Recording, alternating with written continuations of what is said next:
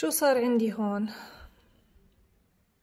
الخميرة تبعتي طلعت مي آه لأنه إلها أكتر من شهر أنا ما طعمتها.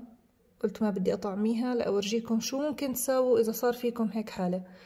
يعني ممكن الواحد ينساها آه إذا سافرتوا وتركتوها مش معناته رح ينكبها ونبلش من أول وجديد. لا بتتصلح. هذا الحكي عادي وعادي إنه يصير. هذا معناته المي الموجودة على الوجه اللي هي الهوتش آه سببها إنه الخميرة أكلت كل السكريات الموجودة اللي في الطحين فهي جوعانة هلأ. فشو لازم نعمل؟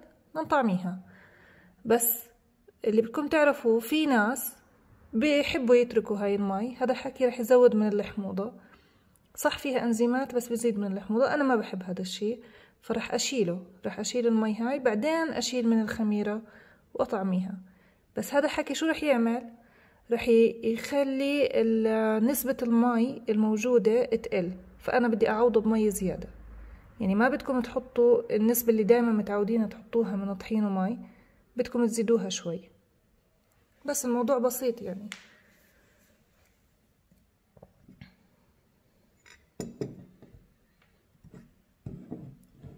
فأول شي بدي أعمله أشيلها.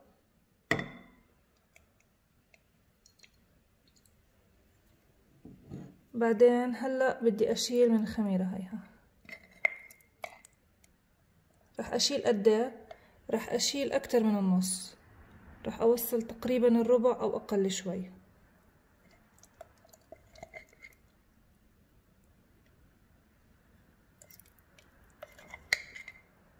طبعا إنتو دايما شيكوا على الريحة.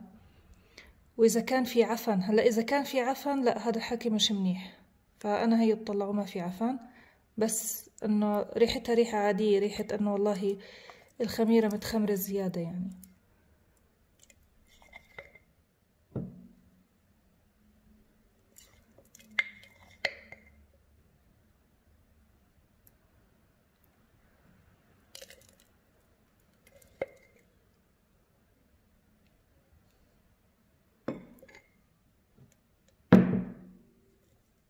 فشايفين قد إيه تركت يعني هي ما بعرف إذا واضح.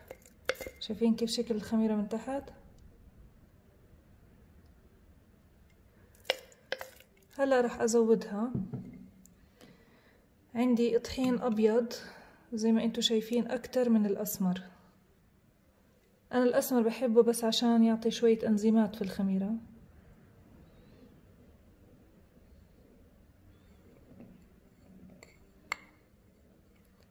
بس الطحين الأبيض المميز اللي فيه إنه الجلوتين تبعه أعلى شوي بقوي الخميرة.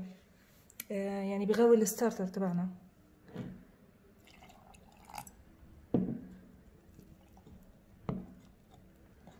اذا بتلاحظوا أنا مرات كتير بيكون شغلي نظري يعني. خلص أنا ماخذه على موضوع الخميرة قديش لازم أحط.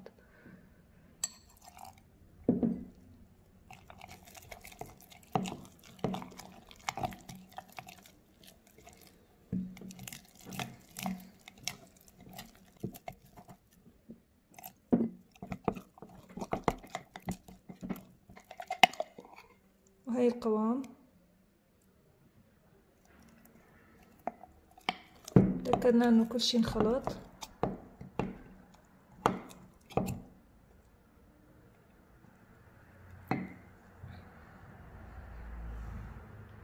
هلأ بنظف بس الوجه من هون بنظفه بالسباتولا وبنسكرها ونحطها بالثلاجة وحاولوا ارجعوا طعموها بأقرب وقت ممكن.